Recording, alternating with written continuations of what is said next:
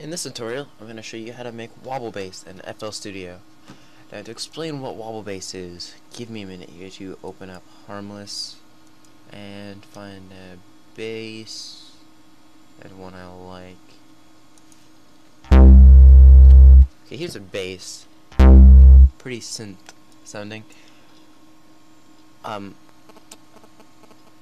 wobble bass is made up of uh, a low frequency oscillator. An oscillate is like to move back and forth, and low frequency oscillator is like to cut out the lows.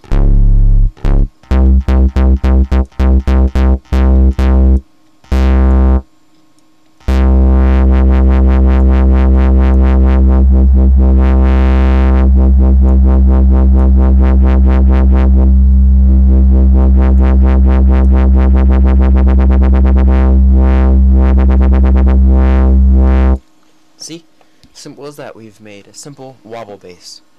And, um, most, I don't know how to, not sure if I know how to do it in this one, but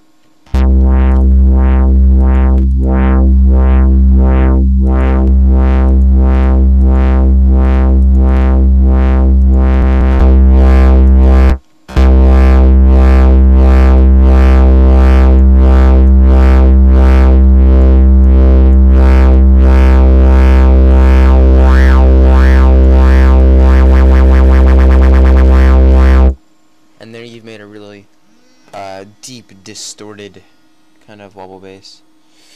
So, um, well, you don't have to do it in Harmless. You can do it in a lot of programs. It's just explaining to you what it means to to wobble, uh, or what have you. Now, in this next one, I'm going to show you how to use the 3X OSC, which is a three times oscillator. Now, you just open this up, and you'll get this little menu here, and you want to click this triangle, this square, and then or this the this one right here, and then this one right here. So it's these, and then you go to uh, INS instrument, and then cut. You would turn your mount all the way up, and go down here to the LFO and turn your mount all the way up.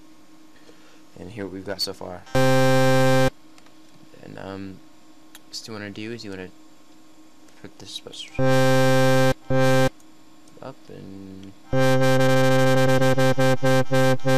you right click speed and set it to ex an exact speed. Let's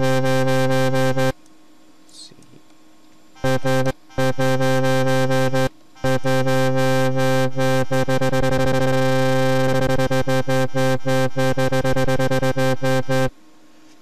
And that's how you do that. Um,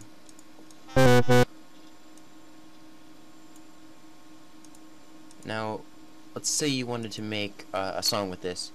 What you do is you'd hit clone, and that would give you C3XOSC number 2 and number 2. And you would take this one and you would set it to a higher speed, for example. Go to piano. This was the first one was. We'll put. I don't know note. What, I don't remember what note the first one was, but go to pattern. And then maybe clone another one and have set it to three steps and then go to right click go to piano.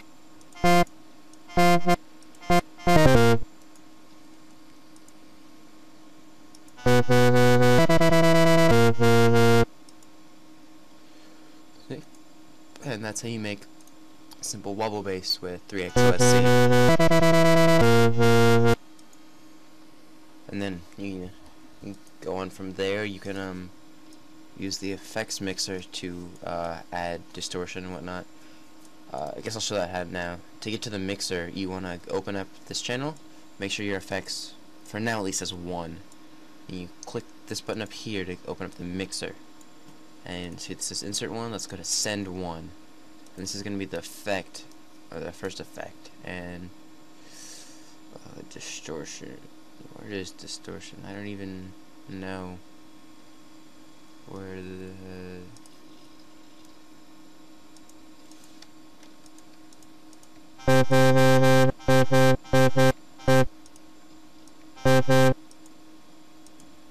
Hang on a second. Ooh. Ooh.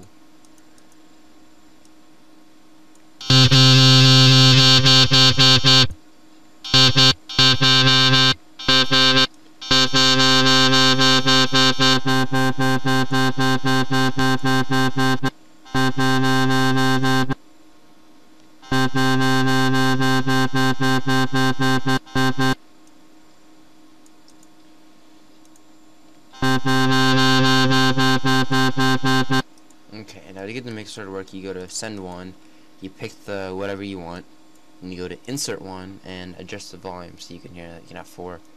We made the uh, effect we have on send one, we put it about here, and then.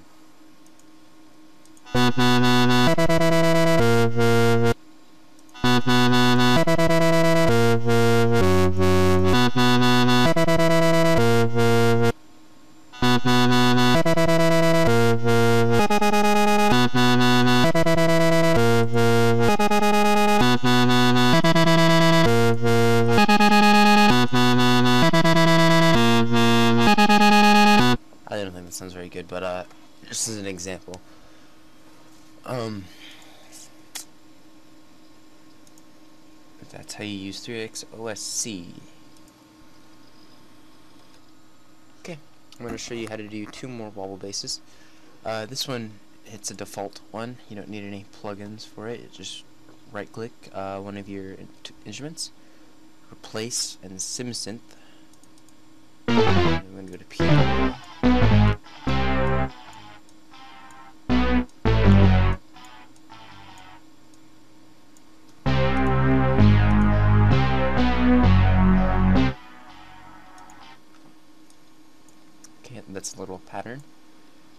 Can, uh, if you if you ever accidentally close out of these, you can just click SimSynth again to open both the instrument itself and your channel settings. And you want to paste that into your playlist. And then press F4. You need to type in name. Paste this here and stretch it out. If you don't have a playlist open, you um click view on playlist and that will toggle that. Let's go to pattern one, click, right click, cut, go to edit events, and we have this little, oh, where'd it go, where'd it go, where'd it go, click, edit events, we have this little guy here, you can see that it goes from 1 to 3 in our playlist, in our time segment, so you click this little square, that's the select tool, and go from 1 to 3, click the arrow, click tools, click LFO, and then you want your value and range to be pretty much vertical. You want that to be near the top, not to be near the bottom. I think by default sometimes it's like this. That to be here, and that to be like this.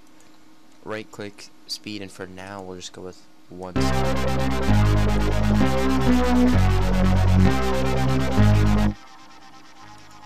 And you can see that's oh, where it is. Now, to um, fine tune, like if you want certain notes to be certain, or certain, I guess notes is what you'd say, certain parts of your wobble to be different speed, you can just highlight that in the timeline and just play around from here until you get what you what you want. Whoa. You don't have to right click and change this, you can manually change it if you want, I guess. So if we made this one like four.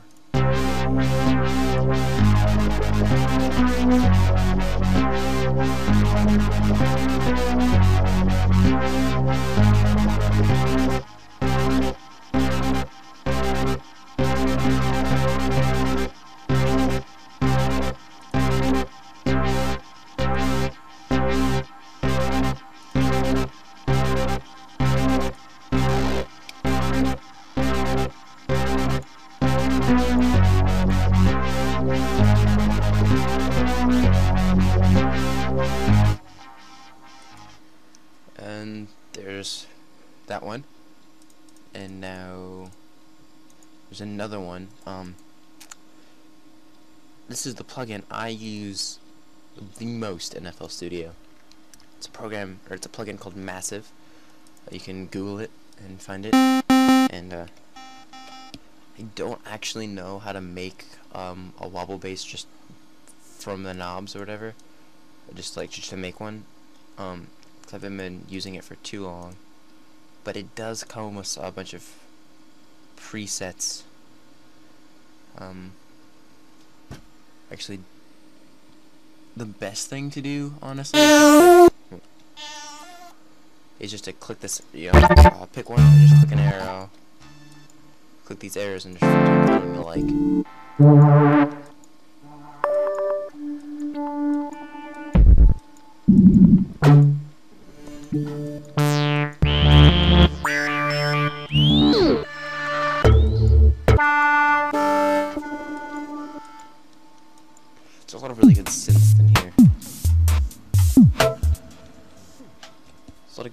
And um, you can also make wobble bass. That's what I use for all my basses, but I also use um, presets, plugins, .ksd files. For example, I have a Skrillexy sounding pack here, and it's got like uh, see if I find a good one.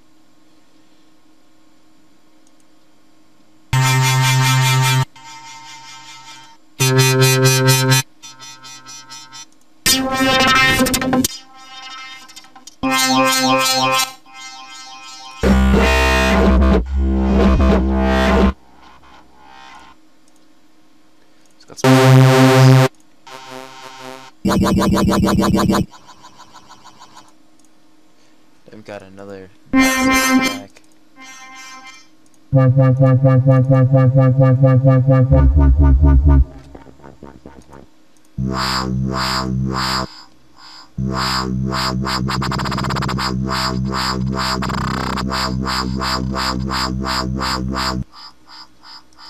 Now, let's say for the sake of this example that you found a wobble bass you already like. For example, this one. Now, how do you incorporate that into your song? Well, first,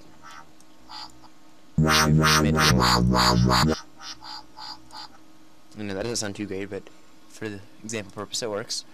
And then, um, since this is massive, right, we can't just, like, change the LFO or whatever in here. So what we're going to do is, uh, click make editor thumbnail. Now, there's a lot of things to edit here. I mean, there's quite a lot. And I have no idea what half of these are. But, to find what you want to edit, uh, right-click your rate knob. Oh, if you don't see this, um, click sync. Sometimes it's in numbers, sometimes it's in a knob. You want to be in a knob, you want to right-click the knob. And this one says control modulator 5 rate. So, if we go over here, modulator 5 rate, that's that knob.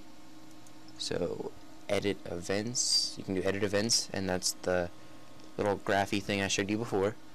Or, here's a new way of doing this, is create an automation clip. Now you can do this with pretty much everything in FL Studio. Create an automation clip. So we need to go to pattern 1, put our pattern 1 in here, and zoom in on this. Sometimes it doesn't work, like sometimes it the spectrum of high to low doesn't fit the scale. For example, like see how this drops down here? Sometimes they don't want to go this low, like there's no difference between this, so like once it gets this low it just doesn't make any noise. So you wouldn't want to use this, but sometimes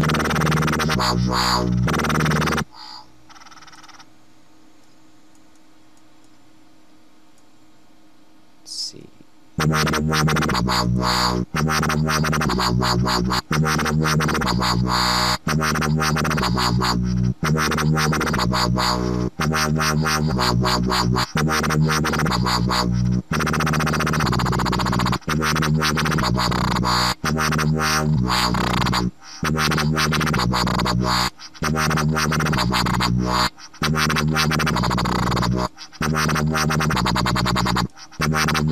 see.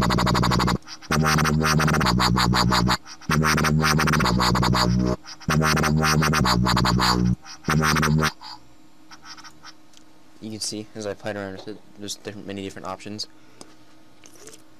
So it, it works. Um, let's see if I can delete some of these points that I don't need.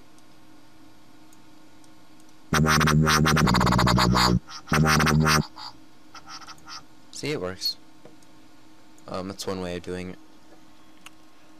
I prefer massive for most of my things. It's all really easy to edit. All of the with all this here, um, especially the LFO is really nice. You can adjust, you know, the the pitch changes quite easily compared to the other ones, and the reverb, you know, you can see there's reverb in this one. Maybe I didn't want reverb. I can't really hear the difference, but that's that's what I personally use the most is massive. Um, if you want, I could actually open. Let's see, a song I used. Don't know if I used massive on this one. Oh. It loaded massive. So let's see. I'm going to take out all the vocals in this song because we don't need vocals for this.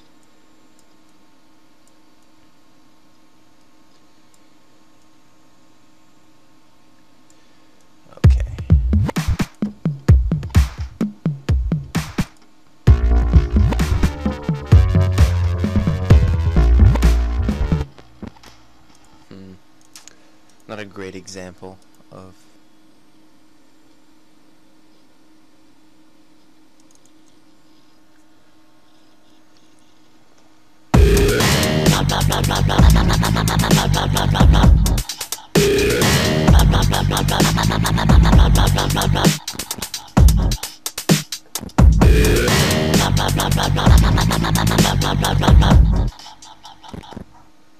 There's one. There's an example of massive. I don't have a lot on this computer, I'm sorry, but